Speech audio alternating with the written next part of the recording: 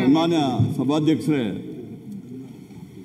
ಬೊಮ್ಮಾಯಿ ಅವರು ಮುಖ್ಯಮಂತ್ರಿ ಆಗಿದ್ದವರು ಬಹುಶಃ ನಾವು ಮೂರು, ಐದು ಗ್ಯಾರಂಟಿ ಕೊಟ್ಟಿದ್ದೀವಿ. ಅದು ಒಂದು ಗ್ಯಾರಂಟಿ ವಿಚಾರ ಮಾತಾಡ್ತಾ ಇದ್ವಿ.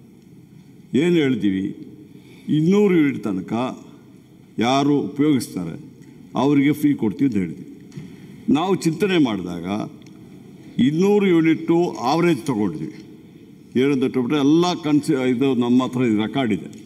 ಪ್ರತಿಯೊಬ್ಬರು ಒಂದು ತಿಂಗಳಿಗೆ ಎಷ್ಟು ಯೂಸ್ ಮಾಡ್ತಾರೆ.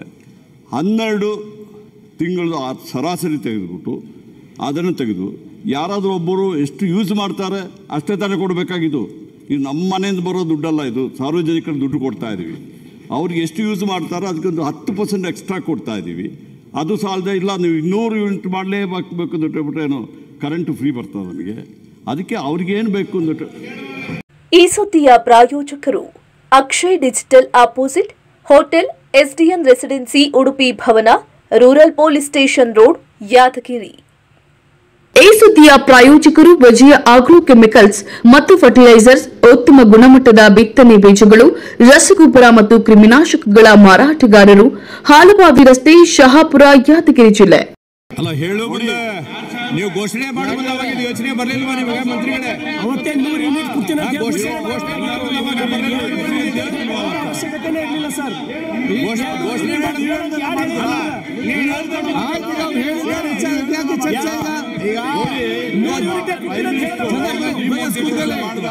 ಸಿದ್ದು ಪಾಟೀಲ್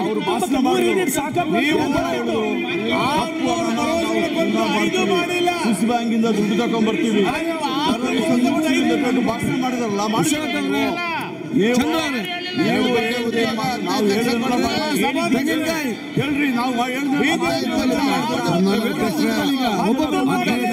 ವಾಪಸ್ ತಗೊಂಡು ಸುರೇಶ್ ಅವ್ರು ಮಹೇಶ್, ನಿಮ್ಮ ನಾಲ್ಕರು ಮಾತಾಡ್ತಾರೆ ಇವ್ರು ಮಾತಾಡ್ತಾರೆ ಮಾತಾಡ್ತೀವಿ ಮಾತಾಡುವಾಗ ಇವ್ರು ಮಾತಾಡ್ತಿದ್ದಾರೆ ಹದಿನಾರು ಲಕ್ಷ ಜನ ಗ್ರಾಹಕರಿದ್ದಾರೆ ಎರಡು ಕೋಟಿ ಹದಿನಾರು ಲಕ್ಷ ಜನ ಗ್ರಾಹಕರಿದ್ದಾರೆ ನಾಯಕರು ಮಾತಾಡ್ತಾರೆ ಇಲ್ಲಿ. ಅದರಲ್ಲಿ ಎರಡು ಕೋಟಿ ನಿಮ್ಮ ನಾಲ್ಕರಲ್ಲಿ ಮಾತಾಡುವಾಗ ನೀವು ಸ್ವಲ್ಪ ಅವ್ರಿಗೆ ಹೇಳಿ.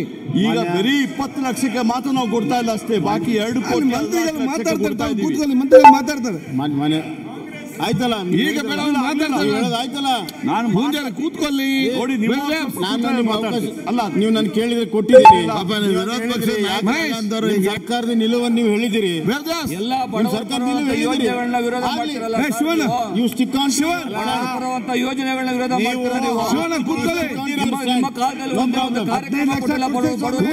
ಮಾತಾಡ್ತಾರೆ ನಾಲ್ಕು ಮಾತಾಡ್ತಾರೆ. ಕೂತ್ಕೊಳ್ಳಿ. ಬಡವರ ಕಾರ್ಯಕ್ರಮ ಮಾತಾಡ್ತಾರೆ ಪ್ರಕಾರ ಇನ್ನೊಂದು ಹೇಳಿದ್ರಲ್ಲ, ಯಾರು ಮಂತ್ರಿ ಮಾತಾಡಿದರಲ್ಲಿ? ಯಾರ ಕಾಲದಲ್ಲಿ? ಶಿವಣ್ಣ, ಕೂತ್ಕೊ. ಬೊಮ್ಮಾಯಿ ಅವರೇ. ಚೀಫ್ ಮಿನಿಸ್ಟರ್ ತಮ್ಮ ಅಧಿಕಾರದಲ್ಲಿ ರೇಟ್ ಬರಲಿಲ್ಲ. ತೆಗೆದು ನೋಡಿ ಯಾರ ಕಾಲದಲ್ಲಿ ಆಗಿದೆ ಅಂತ ಜೂನ್ ಎರಡನೇ ನಾರಾಯಣ ಸ್ವಾಮಿ ಮಿನಿಸ್ಟರ್ ಮಾತಾಡ್ತಾರೆ ಅಲ್ಲಿ. ಜಾರಿ ಜಾರಿ ಮೇ ತಂದ- ಟ್ವೆಲ್ತ್ಗೆ ಮೇ- ಮೇ- ಆದೇಶ ಬಂದಿದೆ. ಮೇ 12ಗೆ ಮೇ ಏನು 12ಗೆ ನಮ್ಮ ಸರ್ಕಾರ ಮೇ ಟ್ವೆಲ್ತ್